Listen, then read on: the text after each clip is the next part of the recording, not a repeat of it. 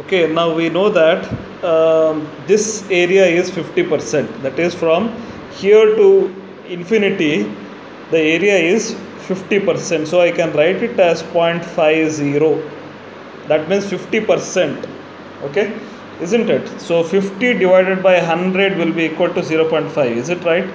So i hope everyone agrees to this. So we can say that this area is 50% 0.50 okay? So out of this 50% area we have to find out how many of them are above this area. Above z is equal to 1 we have to find out correct? So that is the question. So that is the reason we write this equation.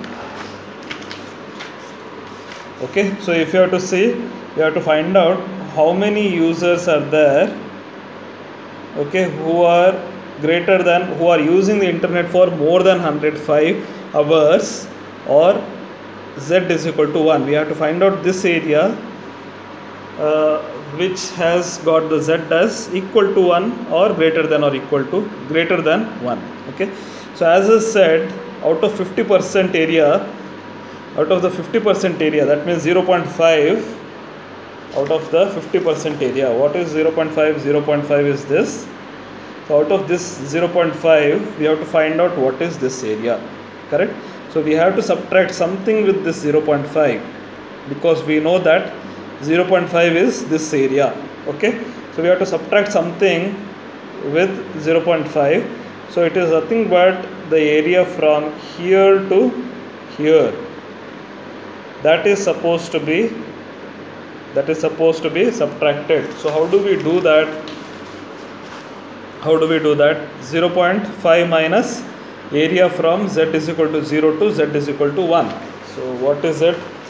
Z is equal to 0 to z is equal to 1 this area is considered for subtraction okay? So when we subtract this area with this what will happen is we will get the required area okay?